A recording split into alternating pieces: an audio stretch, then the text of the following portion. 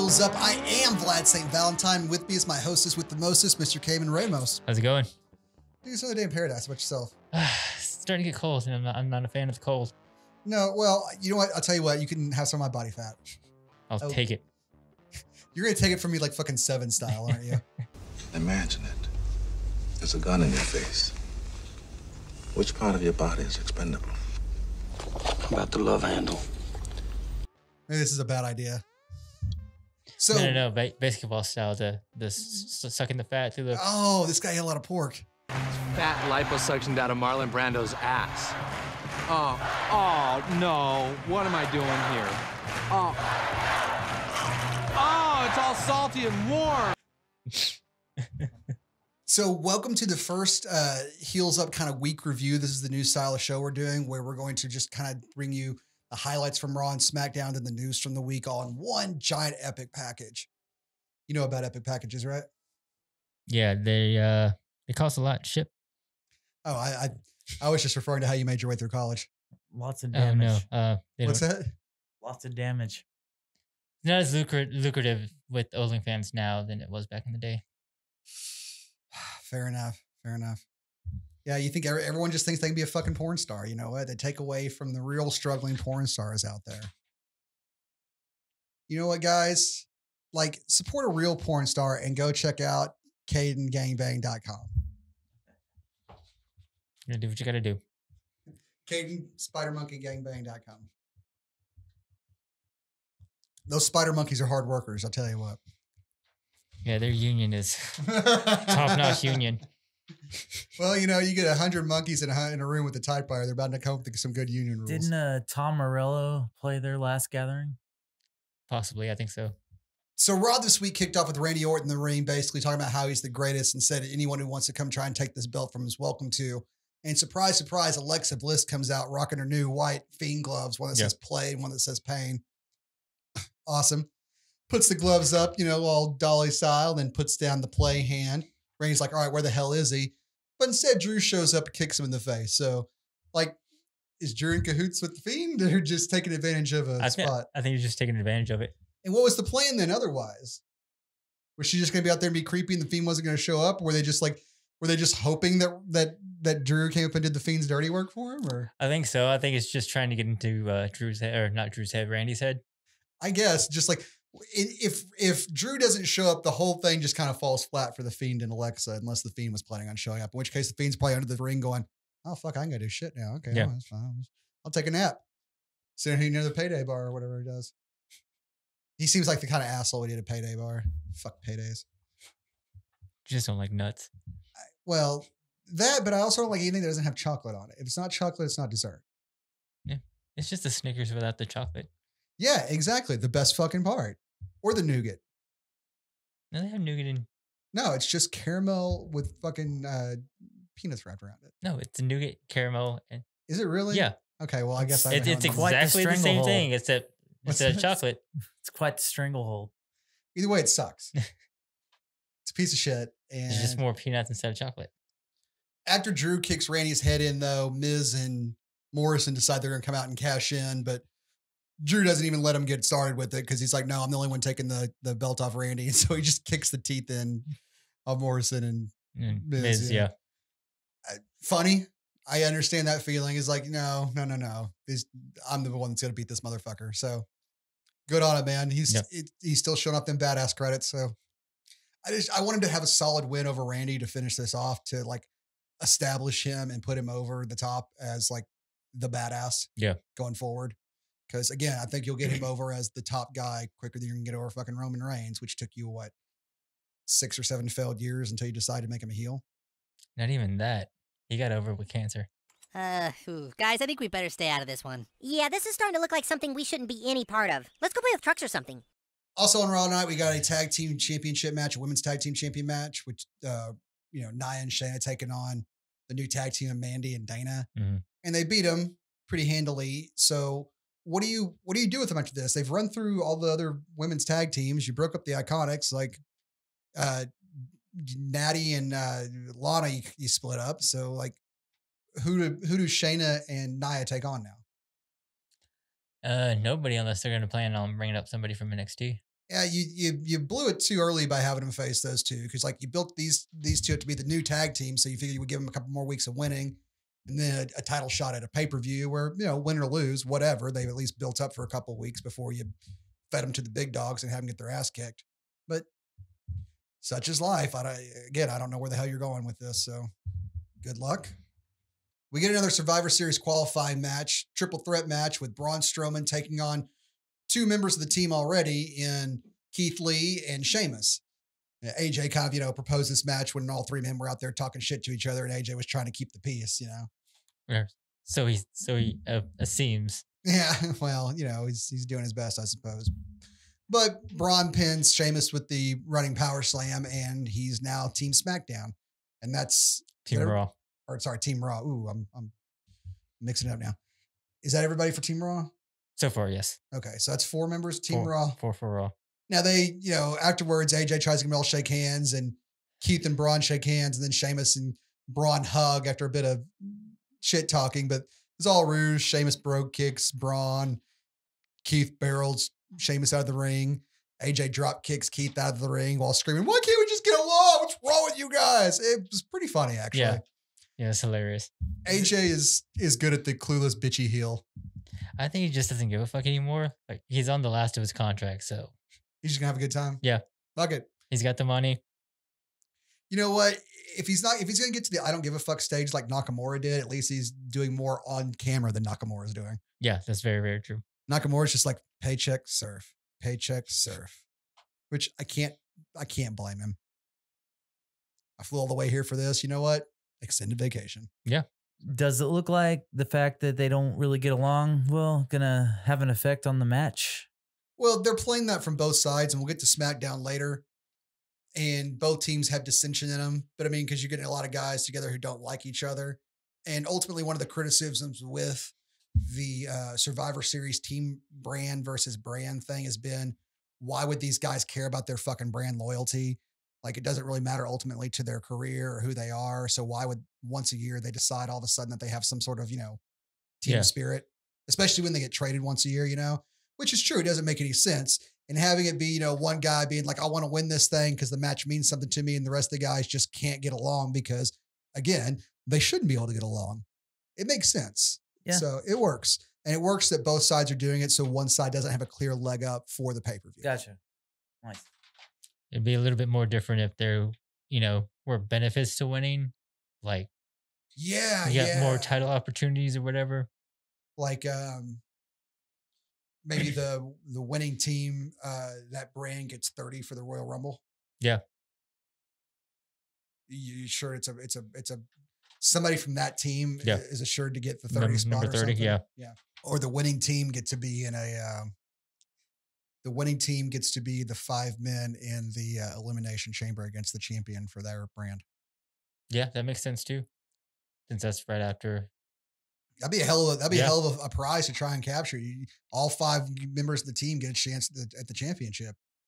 I make Sold. it happen. Yeah, Give it a I'm reason. sold.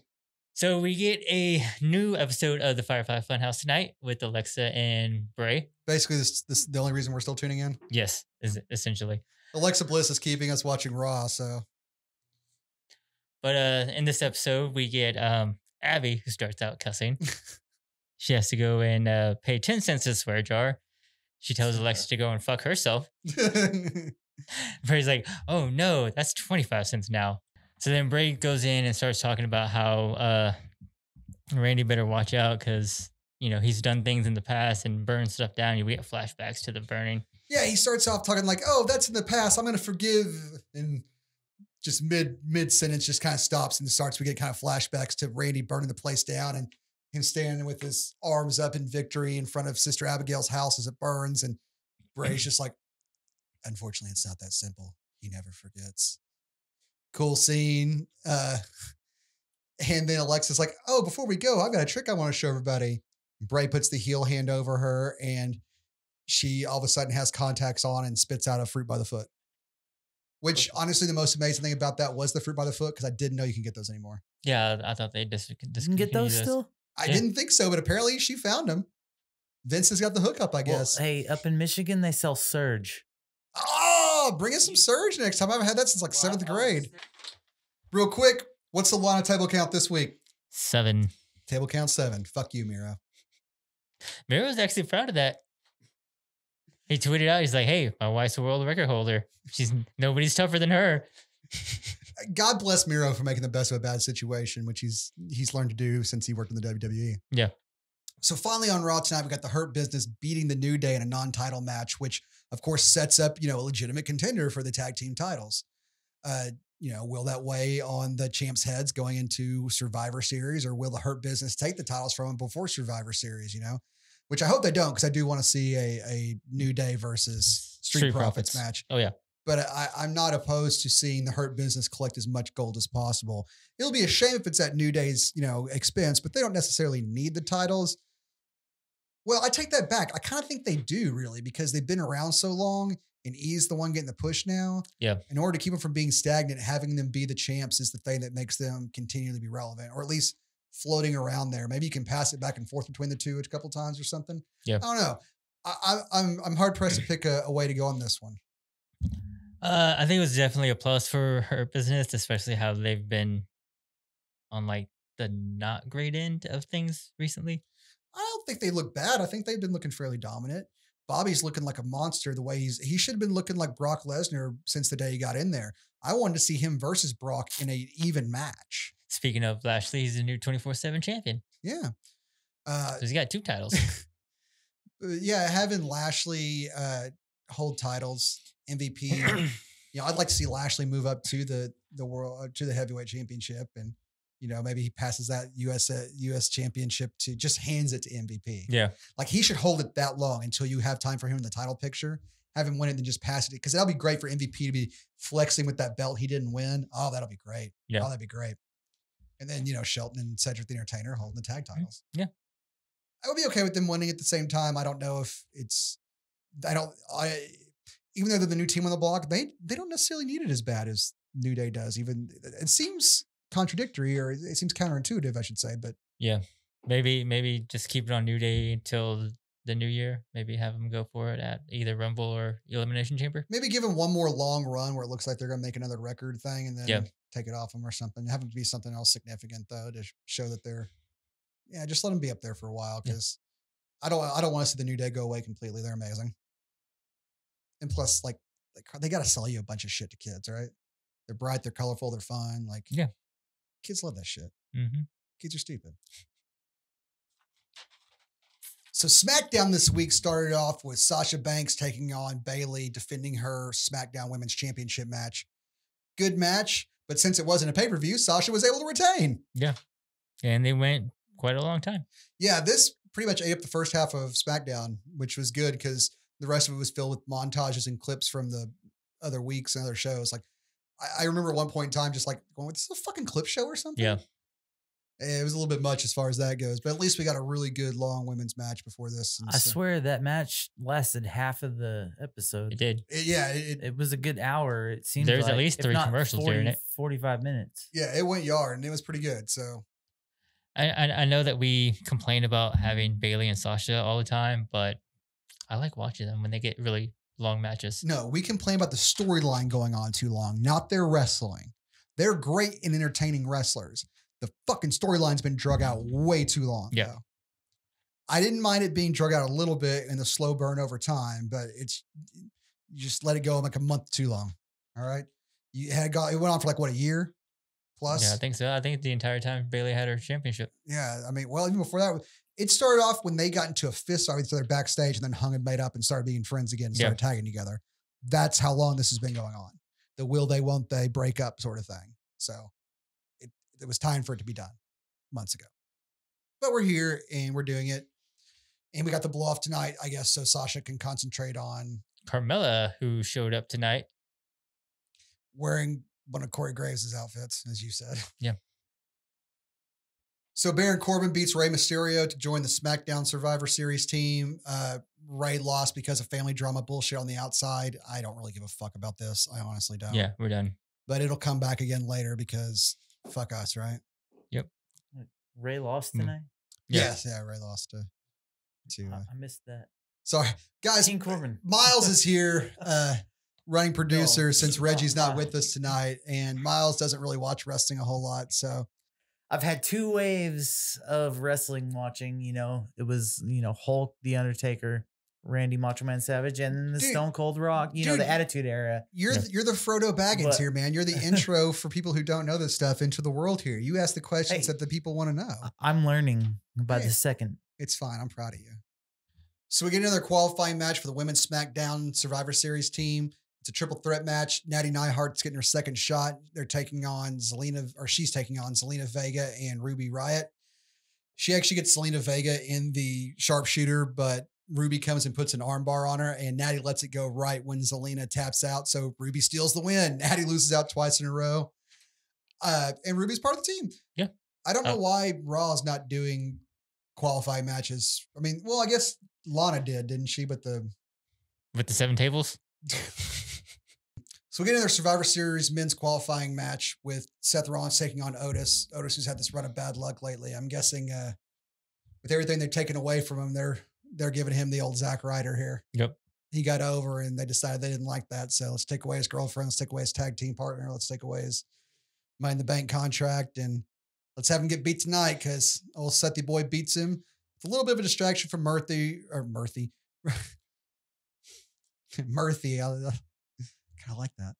But Seth wins tonight with a little bit of help from Murphy, who's on the outside just kind of staring stoically, but that distracts Otis long enough to get kicked in the face and stomped. So Seth joins your Survivor Series team. And afterwards, Murphy's in the back saying, you know, I'm I'm your disciple. And they kind of look like they rejoin. And Seth fucks off. And Aalyah runs up and she's all pissed off and slapping Murphy. He's like, hey, you know, trust me, trust me, it's fine. It's for the greater good. So is he rejoining him as a double cross? Is he playing the double agent here? Or is he actually come back around? Now he's trying to twist her back into it. We'll see where it goes, but I don't really care that much. So I don't either, but I'm thinking this is going to be a shot at Jericho. With the whole, this, he made it a point to say Messiah, disciple. But, you know, Jericho has the Judas effect. eh, Murphy might be the Judas. ah, okay, that's a stretch. I don't think they're that clever. They'll do anything to get back at AEW. That's fair enough. And they've done multiple matches weeks after AEW's done them. Well, you could be more blatant though. They're not that clever. That's all I'm saying. I'm not saying they're not petty. I'm just saying they're not clever. we close the night with a little bit of Anoa'i family drama. Early in the night, KO had gone to talk to Jey because they're on the Survivor Series team together.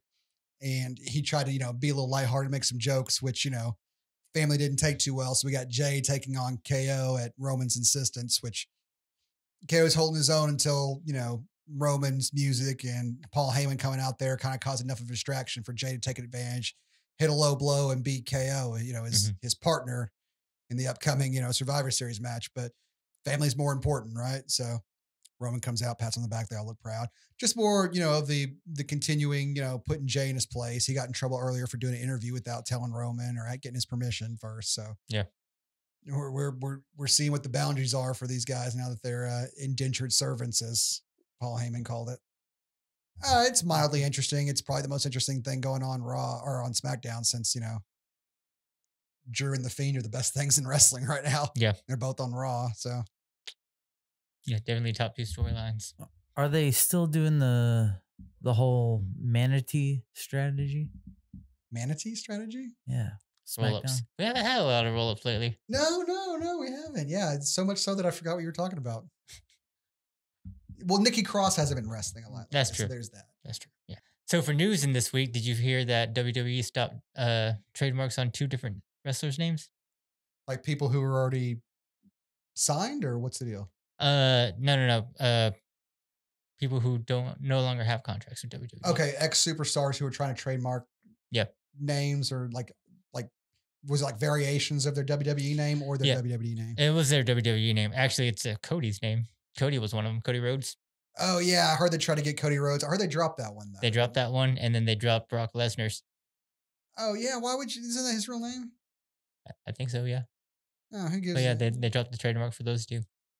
So yeah, I mean, trying to get trying to get the Rhodes name from them. Like, look, okay, no matter how much animosity you have towards Cody for starting this thing and how much shit you put the Rhodes family, you humiliated the Rhodes family every opportunity you got. You put Dusty Rhodes in polka dots. You put Dustin in the gold dust outfit. He made it work. You put Cody in Stardust. Like you've tried everything you can to humiliate them. Just give them their fucking namesake, man. Yeah. That's just that's enough. Enough. Just don't play that dirty. Just let them have their namesake. What you got? Uh, also this week, uh, Wednesday night on NXT, there was uh, Killian Dain got pretty injured in the parking lot brawl with uh, the Kings of NXT, Pat McAfee's new faction. Legitimately injured or kayfabe? Uh, legitimately injured. He's not medically cleared. What happened? Uh, he got his head smashed in a car. Oh shit! Yeah. And he, he pulled a he pulled a Goldberg, but with uh, a head instead of a forearm. Yeah, that's not recommended. Not rec- like you saw how bad it went for Goldberg's forearm. You, your fucking head's much more tender. Don't do that shit. Yeah. I know you're trying to get over, but to what to what avail? You can make the main roster, and Vince doesn't know what to fucking do with you, and you're gone in a few months. Like, don't don't try that hard. Yeah. Just enjoy your time in NXT and, and enjoy yourself. Yeah, let Nikki bring home the big bucks. What else you got? All right. Also, last uh, rumor for WWE uh, Royal Rumble. Plan is at their next Royal Rumble, instead of doing a non quarantined uh, Thunderdome like they normally do, they actually want people there for the pop for everybody. So even if it's just that one event, that's what they're shooting for is to have people for that. Yeah, no, no, don't do that. It's not worth it. Don't do that. You don't just because you want noise. Fuck you. No, don't just like let's. The reason why this is all being drug out is because people are taking these little asinine baby steps towards it. Like we could have been like some of the other countries and been done with quarantine by now. Don't me wrong. Selfishly, I hope it never ends because I love working from home and not having to leave my house. I'm a homebody. This fucking fits me like a glove. But all the rest of you sons of bitches are going insane, and there's a lot of fucking small businesses that have lost their business and Yeah. ain't ever coming back. And we could have been done with it by now if we had just fucking all just taken the drastic steps early on to do so. Doesn't have to be a political issue. Just let's just just get through this damn thing. Yeah. Fuck off. Damn. If I can have people at the Royal Rumble, son of a bitch. Well, guys, that was Heels Up for this week. Hope you enjoyed the new format. We'll be bringing you again more content, more varied content, and be sure to keep tuning in each week for Heels Up. Got anything? I don't got anything else. Miles? Oh, I'm good, man. Good show. Groovy. All right, guys. Say hi to your mama for me.